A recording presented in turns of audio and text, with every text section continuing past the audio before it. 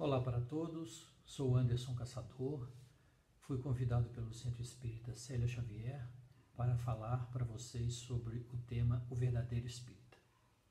Procurando na literatura, encontrei no Evangelho a seguinte definição: Reconhece-se o verdadeiro espírita pela sua transformação moral, pelos esforços que emprega para domar suas inclinações más.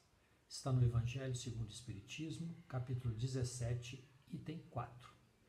Para facilitar nosso estudo, vamos dividir essa definição em duas partes. Transformação moral, a primeira, e a segunda, esforços para domar suas más inclinações. Recentemente, fazendo um estudo do livro Atendimento Fraterno do grupo Manuel Filomeno de Miranda, numa entrevista com Divaldo Franco, foi perguntado para ele qual era o requisito básico para que o atendente fraterno tivesse conexão com os bons espíritos.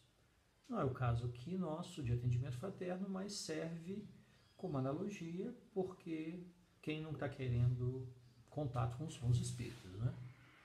Então a resposta dele foi a sua condição moral.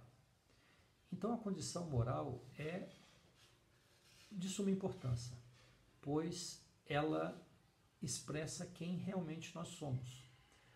E essa condição moral, ela vem principalmente ela é determinada através do pensamento. Porque não é através da fala, porque fala, nós podemos falar qualquer coisa. Qualquer coisa o verbo aceita. Ações são boas. Às vezes podemos fazer algumas boas ações, mas o que está no nosso íntimo daquelas ações? E já o pensamento não. O pensamento é puro, o pensamento é cristalino, o pensamento nos desnuda, por assim dizer. E a parte espiritual, tanto a parte dos bons espíritos, a parte da espiritualidade superior, quanto aquela que ainda trabalha nas zonas mais baixas, conseguem captar nossas ondas mentais que são emitidas através do pensamento.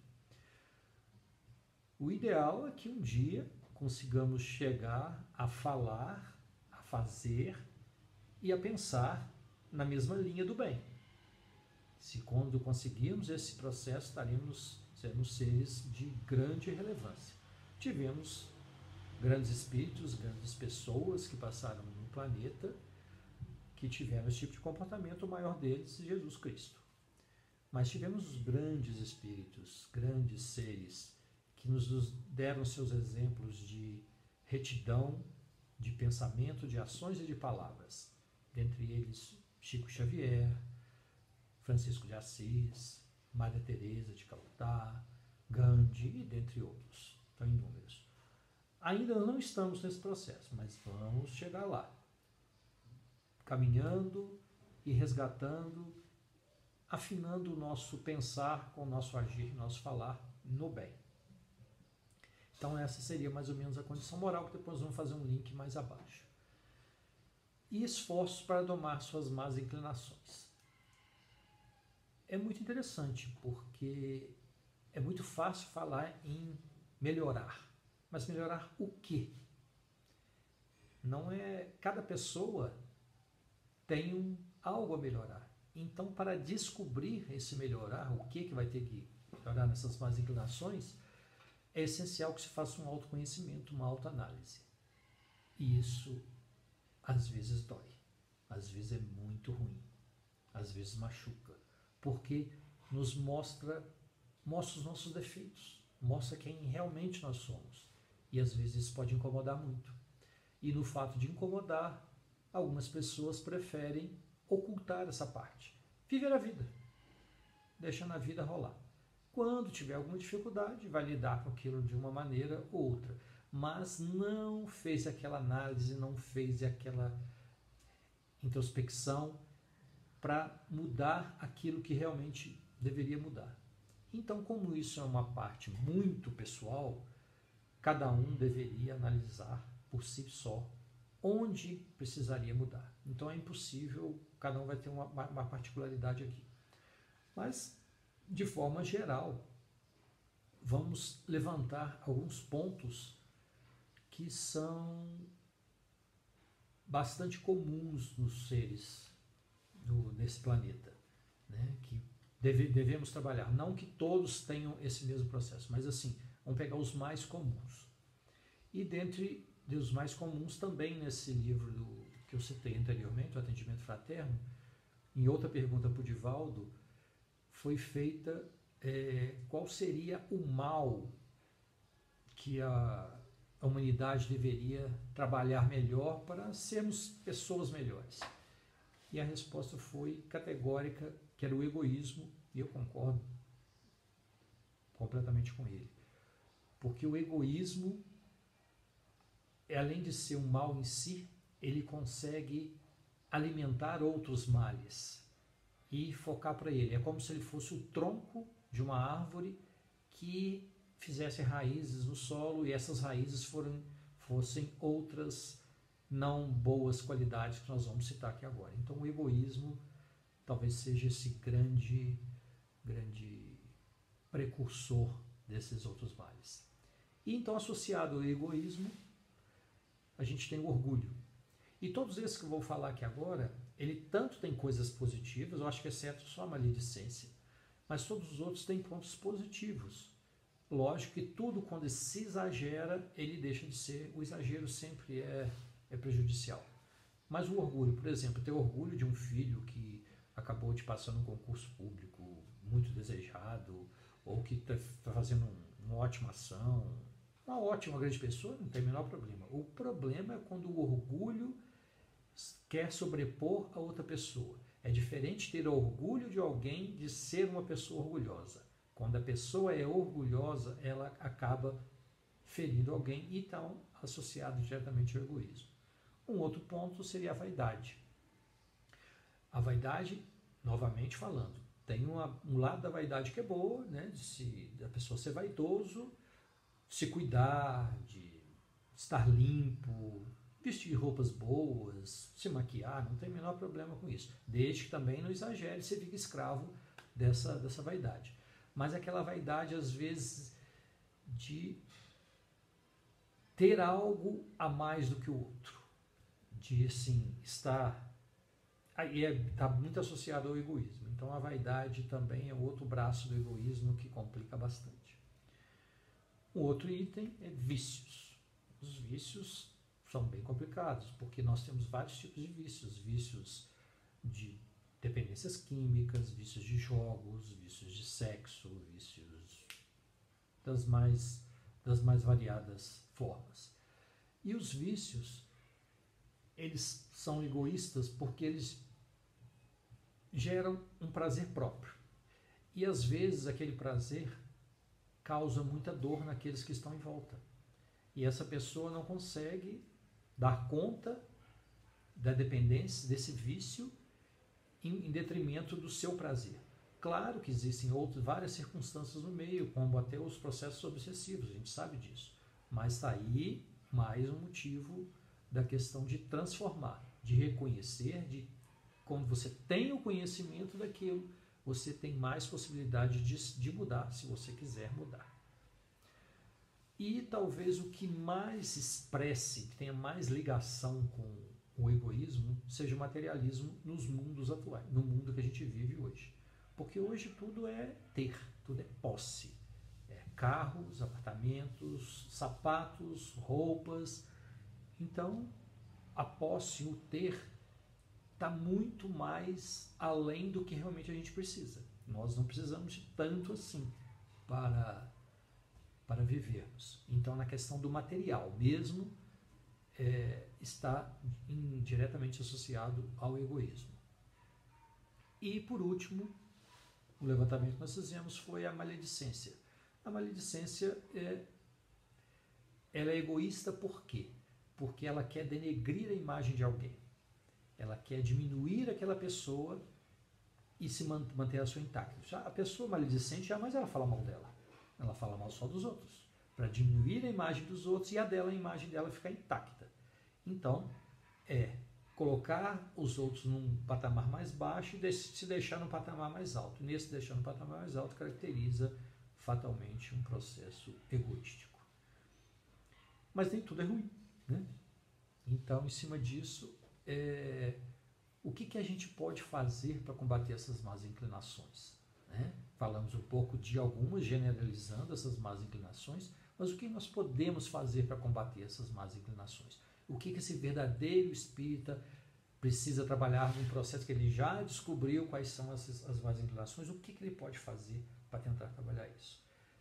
Então, novamente, enumeramos algumas qualidades, algumas atitudes, que tem várias outras, mas vamos concentrar nessas.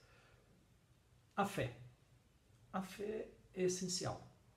Não que uma pessoa que não tenha fé, que seja ateu, não, não possa ser uma boa pessoa. Não, ninguém está associando isso. Mas a fé possibilita um contato mais próximo e mais rápido com os bons espíritos, que recebemos boas influências, boas cargas e vamos crescendo, pegando os bons exemplos, né? Mas não aquela fé cega, aquela fé doentia, uma fé raciocinada, como a própria definição do espiritismo kardecista se proclama, que o espiritismo é uma fé raciocinada. Então, nesse sentido de pensar, de entender, de estudar, de se esforçar, porque não tem nada de graça, não tem castigo, tem sim aquilo que a gente precisa passar. Né? Então a fé é essencial. A fraternidade. A fraternidade, um dos grandes ensinamentos que Jesus veio nos, veio nos trazer, porque né, vivemos de mundos atrás, de, de, de, desde antes da época de Moisés, depois veio Moisés com a primeira revelação, Jesus com a segunda revelação do amor, da fraternidade, do amor ao próximo. Então, até hoje estamos tentando aprender fraternidade. A gente geralmente só faz, a gente só é fraterno quando tem uma, uma catástrofe, uma desgraça. Mas existem várias outras oportunidades dentro da vida normal que podemos ser fraternos. Isso ajudaria bastante a gente. Muda muito nossa a energia que, que roda em torno de nós. Né? Passa a ser uma, uma energia boa. Porque quando você é fraterno, você recebe aquela, aquela energia de volta. A gente faz, a gente faz, recebe aquilo que a gente faz aos outros. Caridade. Jesus nos falava, fora da caridade não há salvação. Existem vários tipos de caridade, desde a caridade material, dinheiro ou algum, algo mesmo material, como outros tipos de caridades mais sutis que não custam nada. Um abraço não custa nada, um sorriso não custa nada. Uns minutos de atenção, deixar de ir para uma balada para atender uma pessoa próxima que está precisando de. Está triste, está precisando de um apoio. Isso é caridade. E a caridade ela pode ser de várias formas. E novamente associada à fraternidade. Um dia a gente pode precisar dessa, dessa caridade. Um outro é o desapego. O desapego está muito associado ao materialismo. E desapegar de, de coisas materiais, carros, é, bens, e tem o desapego pessoal também. Né? Que o desapego pessoal é muito problemático, porque é aquela pessoa que tem domínio, ciúme, e às vezes pode, separações, isso pode gerar, isso pode gerar coisas muito complicadas, como discussões, ofensas, violências e às vezes até morte. Em conta desse apego, dessa dependência de ter uma pessoa do seu lado e não aceitar uma, uma separação, por exemplo. Então, o desapegar é, é uma boa forma de, de, de, de ter uma autoevolução. E por último, o perdão. Porque para que a gente consiga evoluir, a gente tem que aprender a perdoar. Perdoar as ofensas, como diz a, no Pai Nosso, né? a expressão perdoar as nossas ofensas, assim como nós perdoamos os nossos devedores. Perdoar a nós mesmos. E com esses passos, com certeza a gente vai evoluir, vai entrar nesse processo do, do verdadeiro espírita. E, e não é que a gente tenha que eliminar todos na definição fala lá, não é de eliminar todos, somente quando a gente eliminar todos os nossos problemas, nós seremos verdadeiros espíritas. Não, é a luta, o conhecimento primeiro e a luta para se renovar, para domar suas más inclinações. Esse é o verdadeiro espírita. E esse processo nós estamos fazendo há várias vidas, vários séculos. Né? O momento é agora, o momento está urgindo, o país O mundo está mudando de provas e expiações para regeneração. Está no momento da gente dar esse salto de qualidade. Né? E fazendo uma associação com esse momento atual de pandemia, de coronavírus?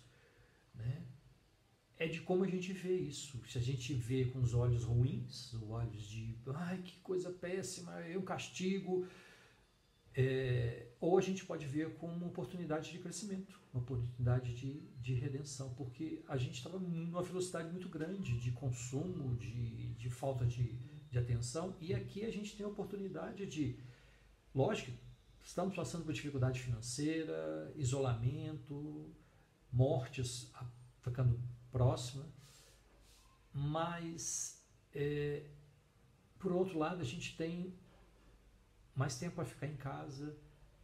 Você não tinha tempo para ler, agora tem. Não tinha tempo para ficar com a família, agora tem.